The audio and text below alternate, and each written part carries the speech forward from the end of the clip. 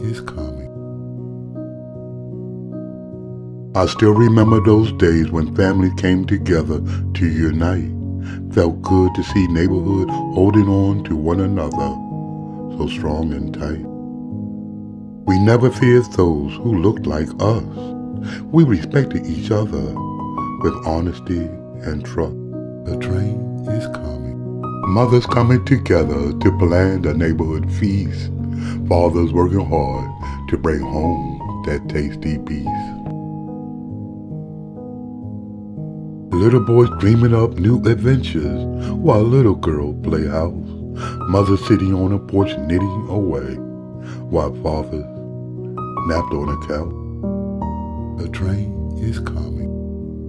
When one neighbor is hurting, we all lend our help. All for one and one for all. No one had to stand by themselves.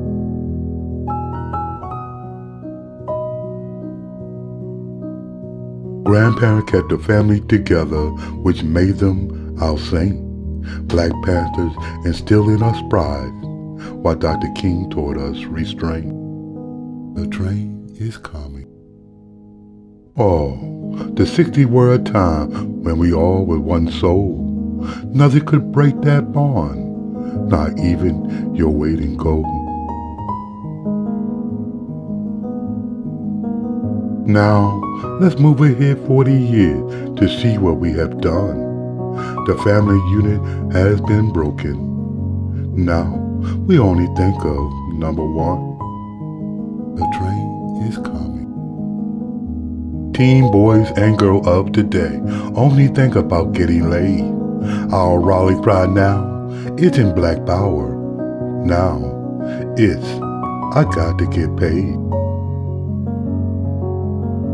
Help shouldn't be something that needs to be asked. A strong sense of togetherness is what our people of today seem to lack.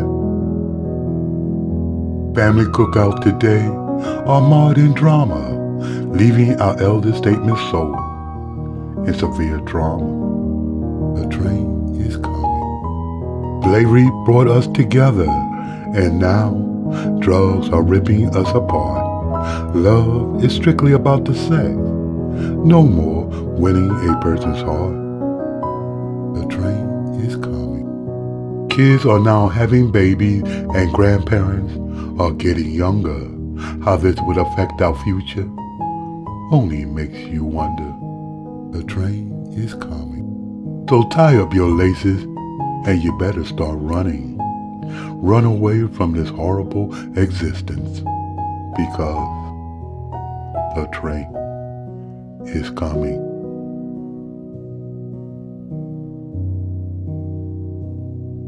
The train is coming.